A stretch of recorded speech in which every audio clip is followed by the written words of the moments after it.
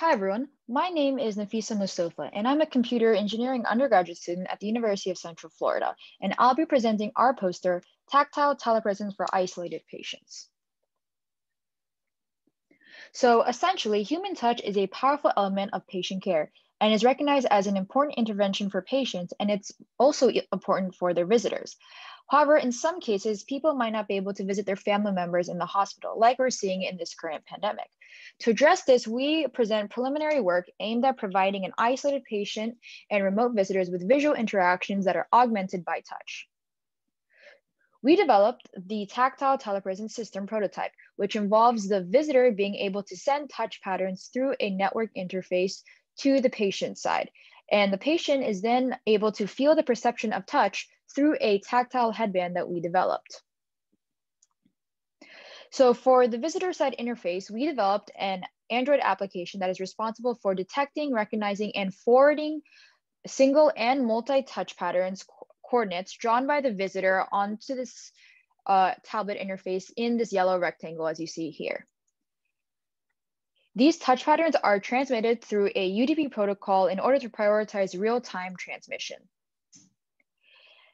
The patient side interface allows the patient to feel the perception of touch through vibro tactile actuators on the tactile headband. This headband was developed with the intention of being portable and is powered through a Raspberry Pi 4.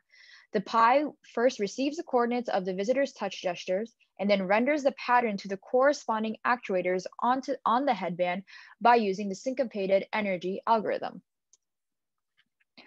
We initially carried out a pilot study to test the ability of a single subject to perceive various touch patterns.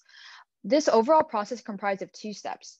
First, we drew different patterns on the visitor side's tablet and the subject wearing the headband um, would receive these touch gestures and they would close their eyes and hand draw the gesture that they felt on their forehead. Uh, as you can see here, the subject was a was appeared to correctly recognize the different touch patterns. In conclusion, we designed and implemented a prototype tactile telepresence system.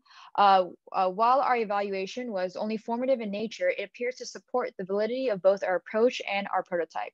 Uh, future improvements would include uh, better modulating the motor's intensities, visually drawing the gestures, having a remote UDP connection, and introducing synchronous full duplex video for both the patient and the visitor. Thank you for listening to this presentation, and if you have any questions, please feel free to email me.